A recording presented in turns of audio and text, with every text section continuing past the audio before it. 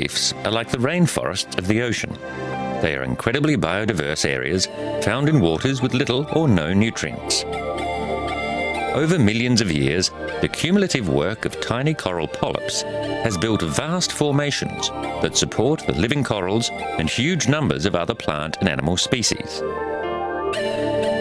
Some of the polyps have a mutually beneficial relationship with a special algae. This makes the coral part plant and part animal. Like so many of Earth's complex ecosystems, coral reefs are under stress.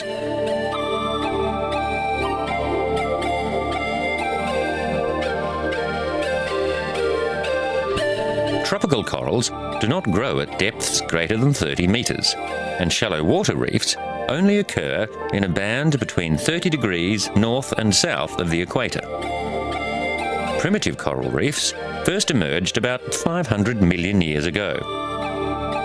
Today, reefs are threatened by overfishing, by pollution, and by increased levels of carbon dioxide that is making the ocean slightly more acidic. Recently, the coral reefs of the Isla de Coco, off the coast of Costa Rica, became the focus of an expedition by a consortium of Latin American and New Zealand scientists. In the early 20th century, the region was frequented by treasure hunters, searching for the riches rumoured to have been left behind by sea pirates in the previous century. Scientists aboard the Proteus expedition say that around 90% of the Isla de Coco reefs died in the early 1980s, when the Pacific's Southern Oscillation Index, also known as El Nino, resulted in a rise in the Pacific's surface temperatures. The reefs are some of the most extensive and richest coral formations in the southeast Pacific, with 32 different species of coral and unusually large gatherings of pelagic sharks. Recent evidence also suggests that the zone plays a critical role as a distribution centre for the eggs of marine species coming from as far as the Indo-Pacific region. The scientists are making an inventory of the marine life in the area to analyse how far the reef has recovered in the last few decades. The cold waters off the Scottish Hebrides are home to a unique cold water coral ecosystem a joint research expedition between the Scottish Association for Marine Science and Greenpeace has been examining the reef 150 metres below the surface off the island of Mingulay. This is very cold water, and the research team use roaming cameras to learn more about the site.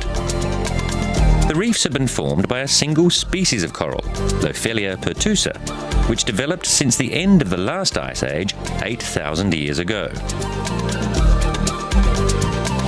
Deep sea cold water coral reefs are found around the world, but very little is known about them. Many have been badly affected by destructive fishing practices.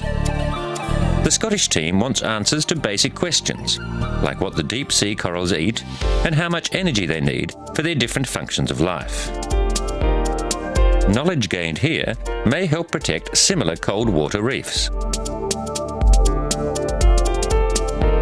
Australia's Great Barrier Reef is the country's most valuable tourist asset, so it has been declared a marine sanctuary.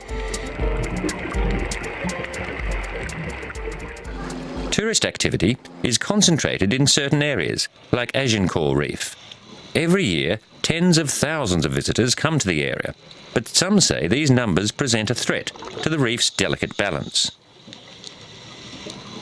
The tourist industry generates more than 4 billion Australian dollars annually. So dive companies, boat operators, and the local resort industry are all keen to protect the reef. Now, researchers are starting to realise that protecting the reef could have a different commercial benefit.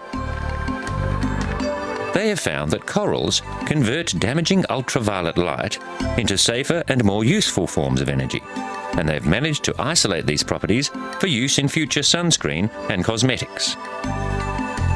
Many subtle claims, including skin protection, are made for these products, but a genuine sunscreen without a heavy oil base is very attractive to cosmetic manufacturers. Australia enjoys a beach culture, but the country also has one of the highest rates of skin cancer, directly linked to exposure to the sun. The proteins that protect coral from ultraviolet light also give it its vast array of colours.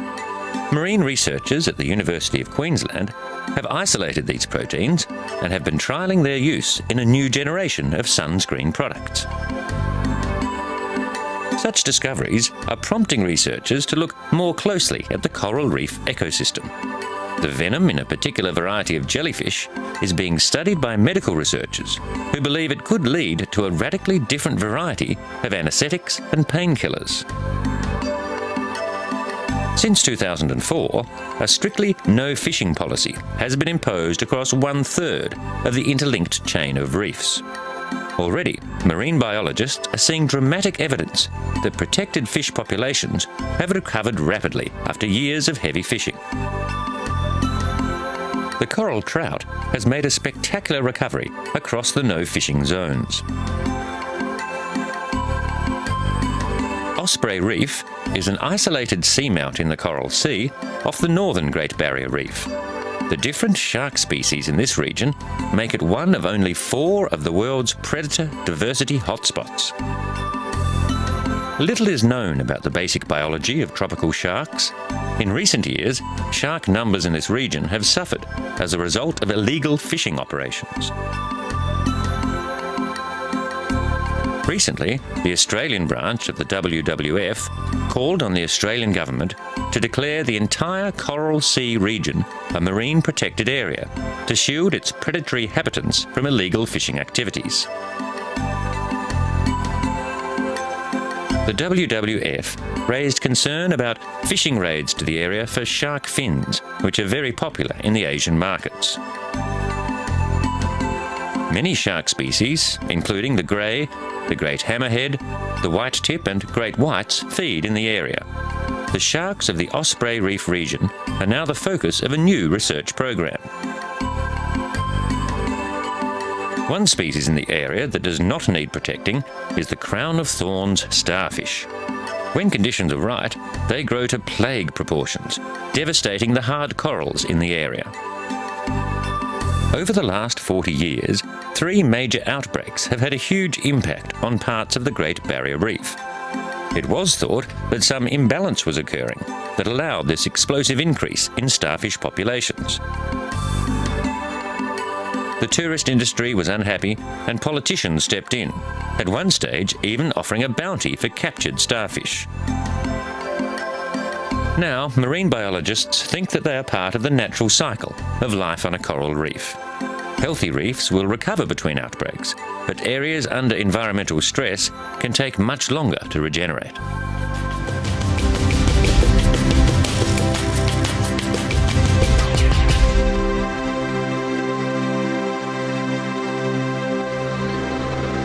The largest archipelagic nation in the world, Indonesia has more than 17,500 islands and a coastline of around 81,000 kilometres. The country's coral reefs cover about 7,500 square kilometres, but these coral reefs are shrinking rapidly through a combination of global warming and irresponsible fishing. Coral bleaching occurs when rising temperatures expel tiny algae from the coral. The coral's colour and food come from the algae called zooxanthella, and when they disappear, the coral turns white. Only 10% of bleached corals survive. Marine scientist Kutut Sudiarto discovered widespread coral bleaching in the reefs surrounding Bali. But the news from Indonesia is not all bad. In a recent survey, Conservation International has identified two new types of shark, a previously unknown flasher fish, and 20 new species of corals in seas off Indonesia, confirming the Western Pacific as the richest marine habitat on Earth. They urged more protection for seas around the Bird's Head Peninsula at the western end of New Guinea. Local factors such as mining can pollute the seas, and the particularly irresponsible practice of dynamite fishing smashes coral reefs. Among other finds, were eight previously unknown types of shrimp and 24 new species of fish, including two types of epaulette shark. The survey region, covering about 18,000 square kilometres, had a greater concentration of species than Australia's Great Barrier Reef. Indonesia's Fisheries Ministry wants to increase the number of marine protected areas, currently covering only 11% of the area around the peninsula.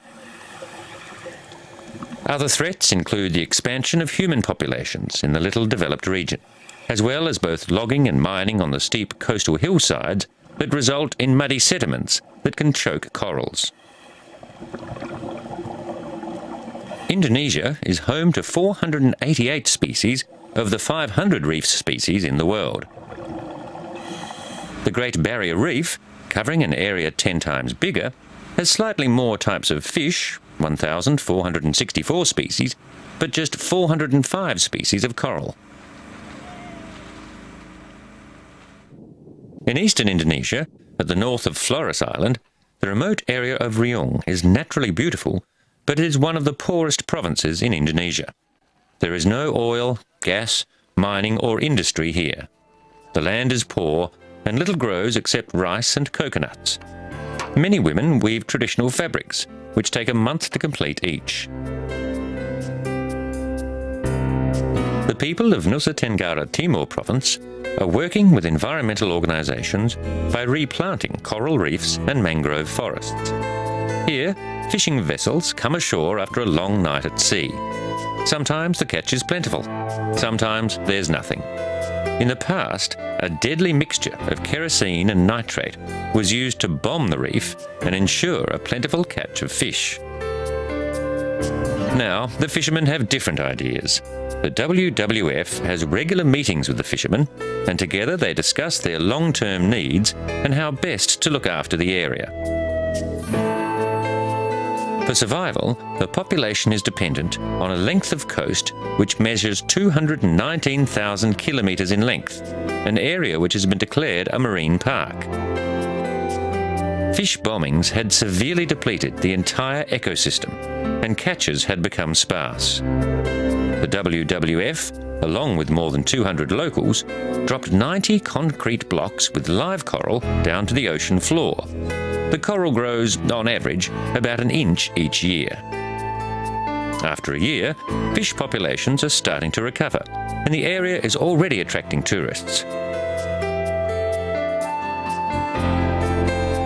In the past, mangroves at the edge of the sea were also chopped down, they are essential to stop soil erosion and also act as a breeding ground for fish. The WWF, along with the community, has embarked on an ambitious replanting program. Children replant mangroves with enthusiasm. A seed is taken from a mangrove tree and placed in a small pot with wet mud. It is left for six months and then replanted on the beach with a 90% success rate.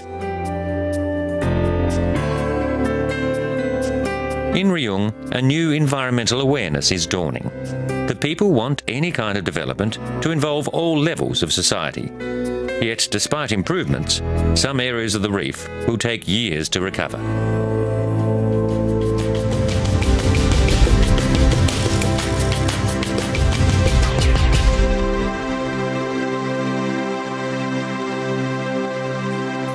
Once, the corals along the shores of the Red Sea would draw divers keen to see one of the most spectacular and biologically diverse reefs in the world. Nowadays, these corals are facing extinction, along with the colourful translucent fish, because of a lucrative fish farm industry in the region's waters. Only 30% of the corals and the wild fish life in the area remain. Zalul, an environmental group, has been conducting a campaign, including lectures and the distribution of underwater footage, presenting the destruction of the coral reef. The fish farms located in the Gulf, breeding 5 million fish a year, are the major source of organic pollution that has been killing the coral reefs. The reefs had sustained damage for years, as Eilat and the neighbouring Jordanian Red Sea resort of Aqaba grew from isolated desert outposts into tourist boom towns. but experts claim that the most severe damage began in the early 1990s, after fish companies started large-scale breeding programs. When the fish farms were established, the reefs should have regenerated as a new sewage plant began to treat waste generated by the growing resort population. Instead, coral degradation accelerated and new coral growth dropped to near zero. Marine biologists say that fish cages, which have continued to increase despite huge opposition, have been excreting large amounts of nitrates that encourage plankton, the enemy of corals, as they make the seawater murky, blocking sunlight, which is essential for coral survival. A report by international scientists found the fish cages were contributing to around 90% of nitrates entering the sea around the resorts. For years, the fish farms continued to deny any direct link with the coral decline, saying that this form of aquaculture is actually environmentally friendly because it eases the pressure on wild fish populations. Their opponents worried that before exhaustive studies could prove the link between the coral's decline and the fish farms, the corals would have long disappeared. The connection between a high concentration of nitrates and the decline of corals is widely accepted by marine scientists. Experts were vocal that the reefs could only be saved if the fish farms were eliminated, or at least relocated to ponds that would allow the treatment of their waste waters. The reefs in Aqaba, or along the adjacent Sinai Peninsula, are in far better shape than those off Eilat, despite thriving tourist industries. Finally, after years of political agitation, the fish farms are closing. But marine biologists fear that it may be too late. The reefs have been devastated, and conditions that will encourage their recovery and regrowth can only be viewed in filtered aquariums.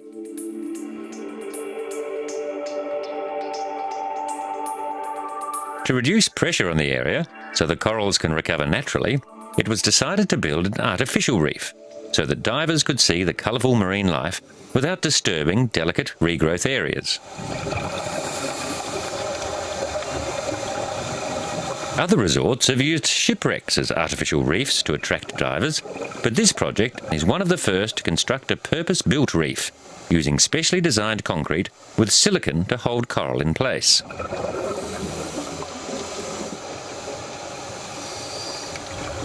The artificial reef is the size of a small house, made up of six concrete blocks, each weighing four tons. To help with the regeneration, marine biologists are growing rare species of coral in nurseries and hope to create a flourishing community within five years.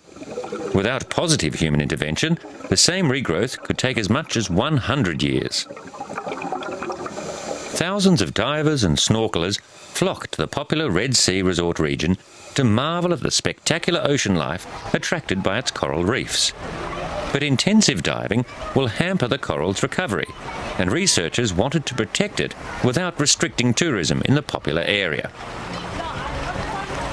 Hulking blocks of concrete might not appear attractive, but after just a few months in the water, the reef has already attracted more than 20 species of fish, and as time passes, the corals will spread across the whole structure. The artificial reef, near Eilat's popular Coral Beach diving spot, was started as an experiment, but researchers say if it proves a hit with divers and protects the reef, it could be replicated elsewhere. Once the coral is ready, divers plant it into holes drilled into the concrete blocks. The project will also provide a research base for marine biologists, since some 40 different types of corals are clustered on a 10 metre strip of Red Sea coral reef, compared to four or five in the same area on a natural reef. The reef's developers are not trying to imitate the natural community, rather, they are attempting to give advantage to rare species on the verge of extinction.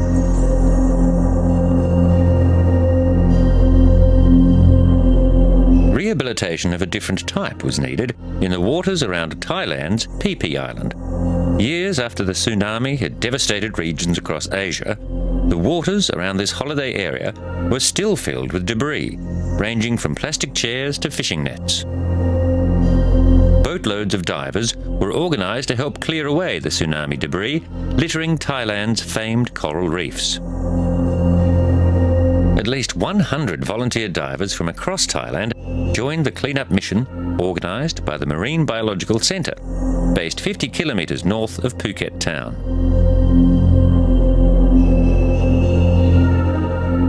Recreational divers working 9 to 5 jobs strapped on their diving gear to survey the damage around Phi Island to plan the massive cleanup effort. Marine experts said the overall damage was not as bad as initially feared, and that nature's own cleanup process had already started. Initial surveys suggested some of the reefs around Phi Island, which attract thousands of snorkeling and diving tourists each year, had escaped unscathed.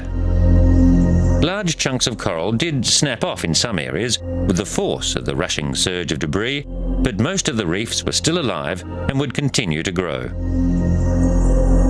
While the tsunami rose to a height of up to 11 metres above normal sea levels when it crashed ashore around Phi, under the surface of the water there appeared to have been relatively little movement. Local dive companies, dependent on the thousands of leisure divers that flock to the area each year, fear rumours of wrecked coral will drive them out of business. While shallow reefs were damaged, they say the spectacular deep water corals are still pristine. Biologists say the rich underwater ecosystem around Phi will continue to support the variety of marine life that includes eels, sea snakes, and turtles. In the long term, local conservationists are hoping the disaster will slow the rampant overdevelopment on Phi Island. The clearing operation was a success, with huge amounts of junk removed from the waters. After the disaster, most of the buildings on the island lay in ruins. People are hoping that the recovery of the island's tourist infrastructure will happen in a more planned manner.